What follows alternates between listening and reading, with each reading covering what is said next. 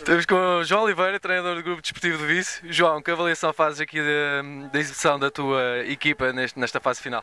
Uh, posso dizer que estou bastante contente com a prestação, uh, visto que, que notei que ao longo do torneio fomos evoluindo. Uh, começámos por sofrer num, uma goleada, no último jogo já nos conseguimos bater.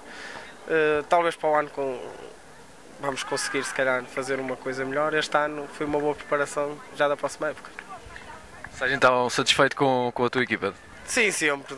Trazê-los cá, passar este fim de semana com eles, para mim já é uma satisfação. Algum momento especial que leves desta, desta fase final, na memória?